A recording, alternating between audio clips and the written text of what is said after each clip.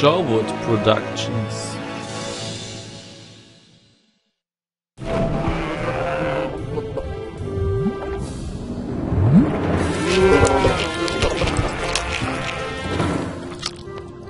Und Piranha Bytes.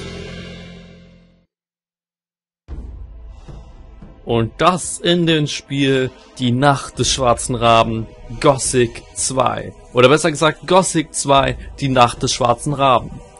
Tja, die Nacht des Schwarzen Raben ist das offizielle Add-on zu Gothic 2.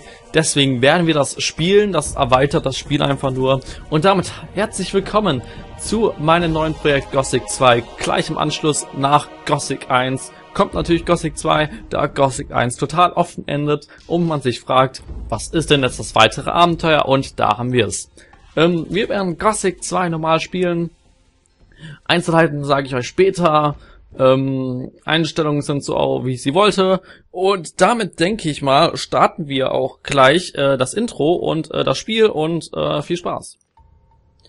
Wenn der Ladebalken sich geladen hat. Aber das sehen wir dann bis gleich. Oder vielleicht kommentiere ich das auch. Mal gucken.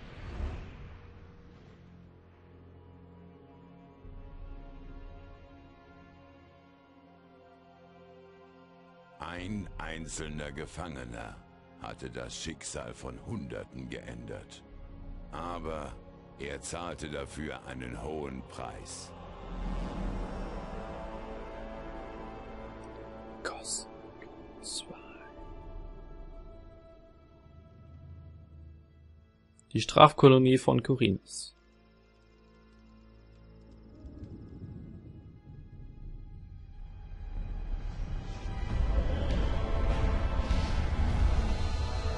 Episch.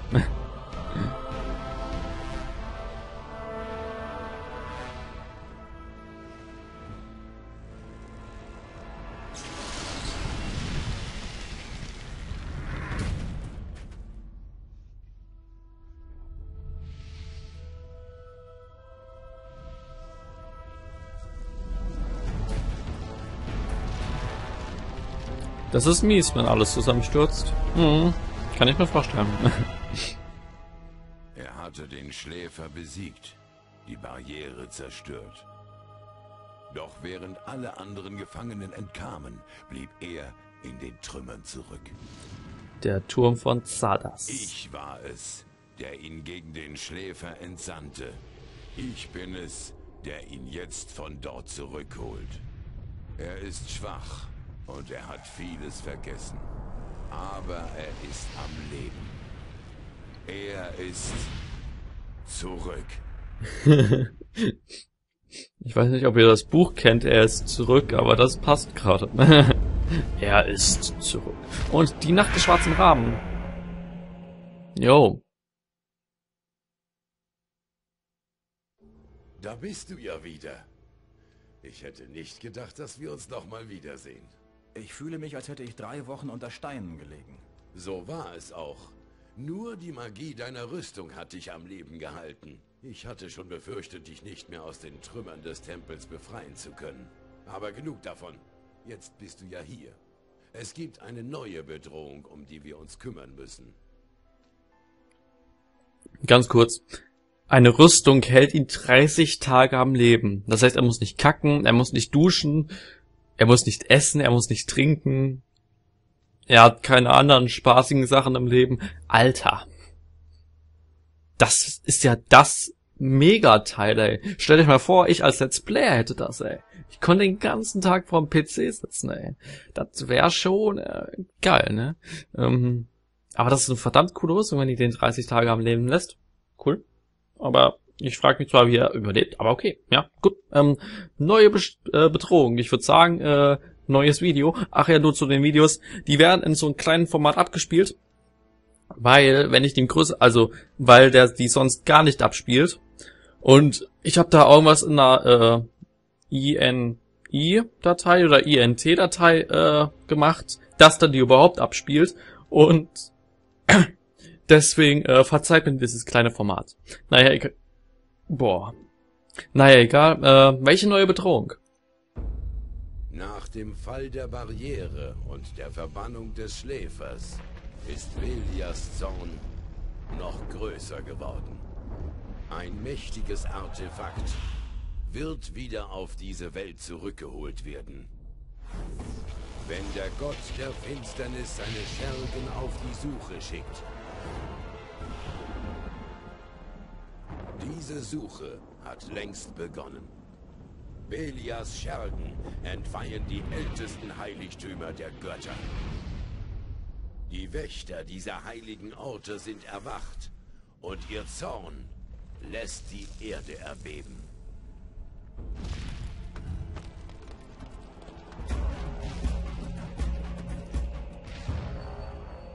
Alle mächtigen Magier auf dieser Insel spüren diesen Zorn.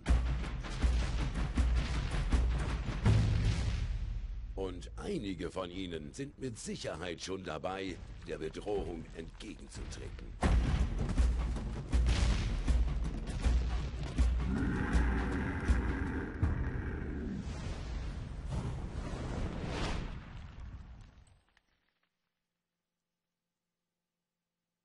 Verbünde dich mit ihnen.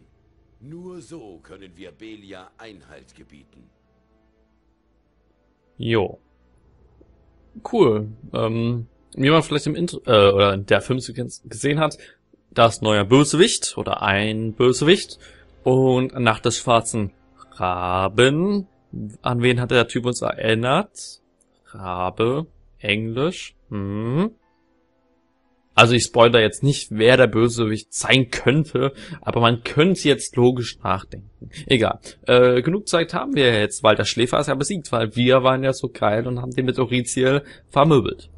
Genug Zeit haben wir ja jetzt. Ich habe es geschafft. Der Schläfer wurde verbannt. Du hast ihn besiegt, das ist richtig. Aber den Krieg, der jetzt folgt, können wir nicht mehr aufhalten.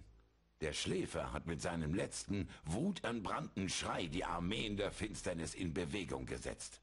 Es war ein Befehl an alle bösen Kreaturen, ein Wort der Macht, dem sie alle gehorchen mussten. Sein letzter Befehl war, kommt, und sie kamen, alle, sogar die Drachen. Drachen? Es sind Kreaturen von uralter Macht. Ich kann ihre Gegenwart spüren, selbst hier und sie haben eine ganze Armee von niederen Dienerkreaturen um sich geschart. Wo ist diese Armee jetzt? Die Armee lagert nicht weit von hier, im Minental von Korinis. Und sie bereitet sich auf den Angriff vor. Uns bleibt nicht mehr viel Zeit. Jo, cool. Also MC äh, Schläfer hat wohl noch ein paar Leute geholt.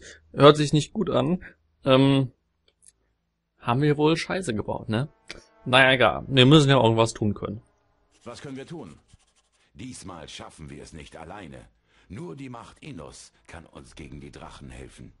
In der Stadt Korinis, nicht weit von hier, lagert eine Gruppe von Paladinen. Sie verfügen über ein mächtiges Artefakt, mit dessen Hilfe wir die Drachen besiegen können. Sie nennen es das Auge Innos. Du musst dir dieses Artefakt besorgen. Berichte den Paladinen von der Bedrohung. Du musst ihren Anführer überzeugen, uns zu helfen. Und sobald du mit ihm gesprochen hast, musst du das Artefakt Belias finden. Es ist das Gegenstück zum Auge Innos. Es darf nicht in die Hände des Bösen fallen. Okay, ähm, klingt gut. Was ist denn das Auge Innos? Also, äh, ganz kurz zur Erläuterung. Es gibt ja Belia, Innos und Ad Adanos? Irgendwas mit A. Keine Ahnung. Das sind die drei Götter in Gothic quasi. Also die Persönlichkeiten. Und äh, Innos zum Beispiel wird von Feuermagiern, ähm, Adanos wird von Wassermagiern und Belia halt von den Bösen quasi angebetet. Naja, das Auge Innos. Was genau ist das Auge Innos? Es ist ein Amulett. Der Sage nach hat Innos selbst einen Teil seiner Macht in dieses Amulett gelegt. Es wird dir einen Teil deiner verlorenen Kraft wiedergeben und uns helfen, die Drachen zu besiegen. Und es hat noch einige andere verborgene Fähigkeiten, doch dazu mehr, wenn du das Amulett hast. Ach so, okay. Und äh, ich meine, man kann da jetzt einfach hinspazieren, einfach durch die Stadt, zack, zum Anführer und dann sagen, ey, gib mir das Auge Innos, ich bin der Auserwählte. Aber das wird wahrscheinlich nicht so leicht sein. Warum sollten mir die Paladine das Auge Enos geben? Weil du derjenige bist, der dazu bestimmt ist, es zu tragen. Woher willst du das wissen? Es gibt eine Reihe von Gründen. Der wichtigste ist, du hast den Schläfer besiegt. Stündest du nicht in der Gunst der Götter, wärst du jetzt tot. Nehmen wir mal an, du hast recht und ich bin dazu bestimmt, das Auge Enos zu tragen. Woher wissen die Paladine, dass es so ist? Das Auge sucht sich seine Träger selbst. Sobald du es in die Finger bekommst und es dir anlegst, werden die Paladine nicht mehr an deinen Worten zweifeln. Hört, hört. Äh, ja, und äh, Stadt und so, ich meine, man kann da jetzt einfach reingehen, aber... Wie komme ich zur Stadt? Folge einfach dem Weg von hier aus durch die Berge. Die Stadt ist groß, du kannst sie nicht verfehlen. Aber sieh dich vor, der Weg zur Stadt ist nicht ungefährlich und du bist noch lange nicht wieder so stark, wie du einst warst. Leider, ja. Äh, ich brauche eine Waffe. Ich brauche Waffen. Ich kann dir nur das wenige geben, was ich hier habe. Sieh dich in meinem Turm um.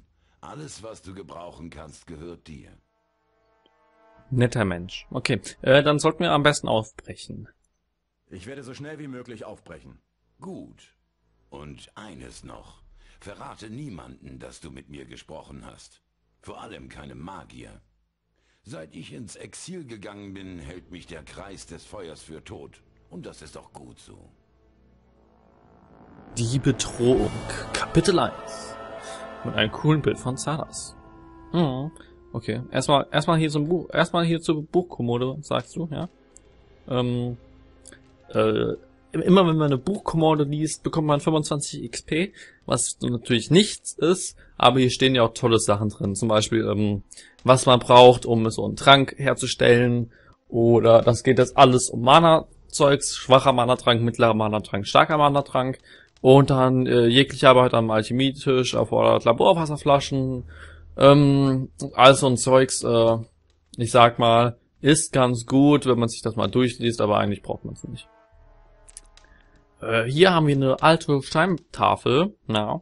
Und wie ihr vielleicht schon hört, wir können jetzt einfach Linksklick machen, na. Und schon nimmt er was. Das ist eine tolle Erneuerung in diesem Spiel, ja. Eine tolle Erneuerung. So, hier haben wir einen schweren Ast. Und hier, meine Freunde, da kann man leicht sehen hier, das ist so ein äh, Schalter. Wenn man da drauf drückt, ich habe gerade eine Nachricht bekommen, egal, da kann man drauf drücken und dadurch geht da hinten das Gitter auf, habe ich gehört. Und äh, da kann man sich jetzt noch so einen Trank nehmen, ja, weil das voll gut ist. Und dann kann man sich hier noch eine Truhe öffnen. Und mit der Truhe bekommen wir dann nochmal 20 Gold, ja. Das ist voll gut, ey. Und dazu leichte Wunden heilen. Und, meine Freunde, Feuerball. Und Feuerball ist ein cooler Zauber. So. Jetzt, äh, da ich den Anfang sehr oft gespielt habe, ich habe das Spiel nie durchgespielt, aber ich habe den Anfang hundertmal oder so immer wieder angefangen. Deswegen weiß ich auch, dass wenn man mit Zardas redet, und ihn jetzt sagt, hier, ich habe da eine komische Steintafel. Kannst du mir etwas über diese Steintafel sagen? Ich hatte erst die Vermutung, dass es sich dabei um ein magisches Artefakt handelt. Aber letztlich bin ich zu dem Schluss gekommen, dass es nicht von großer Bedeutung ist. Ich habe den Sinn dieser Tafel nicht gänzlich entschlüsseln können, aber es scheint sich um die Geschichte einer sehr alten Kultur zu handeln. Wenn du die Tafel haben willst, dann soll sie dir gehören. Ich habe keine Verwendung dafür. Ja, cool. Ähm, und jetzt sind da noch so ein paar normale Fragen, die werden wir trotzdem alle fragen. Wo genau sind wir hier? Wie ich bereits sagte, in der Nähe der Stadt Korinis. Ich habe meinen Turm hier neu errichtet. Aber es ist erst wenige Tage her, dass wir uns das letzte Mal im Minental gesehen haben. Die Diener, die ich rief, um meinen Turm zu bauen, haben ganze Arbeit geleistet. Das kann man wohl sagen. Ja, so ein Turm in 30 Tagen plus Einrichtung. Das schafft nicht mal ein guter Möbelpackertrupp. Mhm. Woher bekomme ich bessere Ausrüstung? Der nächste Ort, an dem du bessere Waffen und Rüstungen bekommen kannst, ist die Stadt Korinis. Aber unten im Tal findest du einige Heilpflanzen, die dir helfen werden, wenn du im Kampf verwundet werden solltest. Direkt vor meinem Turm ist ein See. Von dort aus gibt es einen versteckten Zugang zum Tal. Interessant. Und äh, ja, warum darf der Feuer so nichts wissen von dir, ne? Warum darf der Kreis des Feuers nichts von dir wissen? Früher war ich mal ein hohes Mitglied des Kreises. Ich ahnte schon damals, dass die Dämonenmagie der Schlüssel zur magischen Barriere war. Aber die anderen Mitglieder dieses Kreises hätte ich nie von diesem Weg überzeugen können. Also oh. habe ich den Kreis verlassen, um die schwarzen Künste zu studieren. Für dieses Vergehen gibt es in den Augen der Feuermagier, der geweihten Innos, der immer Guten und Rechtschaffenden, keine Entschuldigung.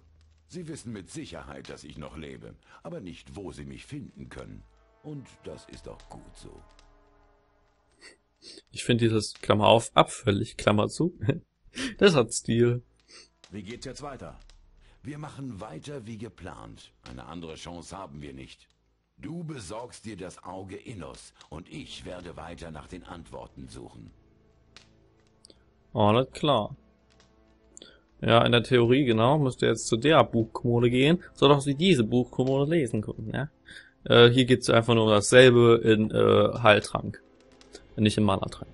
Ähm, so. Zadastum hat jetzt auch neuerdings eine Treppe, was äh, sehr äh, schön ist, weil man jetzt endlich auch mal äh, hier äh, hochlaufen kann. Und nicht immer mit Teleport, Spruchrolle und äh, Schwachsinn. Ähm, hier haben wir einen Schlüssel. Schlüsselchen. Und jetzt hier haben wir eine Buchkommode, ne? Buchkommode ist immer schön. Würde ich mal so sagen. Hier geht's um Jagen und Beuten. Ich lasse mal so ein bisschen, könnt ihr das ja mal durchlesen. Ihr könnt ja einfach pausieren und so Spaß. Ja, ja, ich bin ja so nett, ja, wisst ihr. Und, ähm, ja. Hier geht's um dasselbe in Blutfliege. ähm, dann haben wir hier eine Buchkommode, also wir bekommen ja einmal 25 Erfahrungen, deswegen ist das alles nützlich. Hier geht's um permanente Tränke.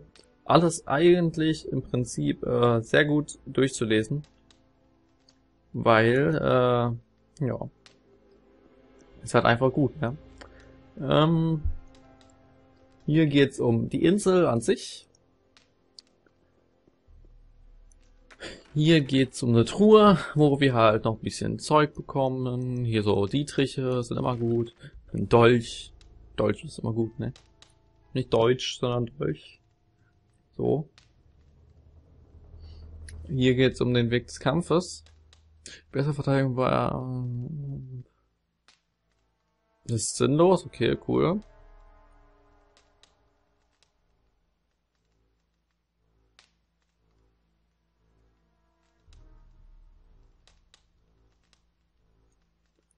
cool.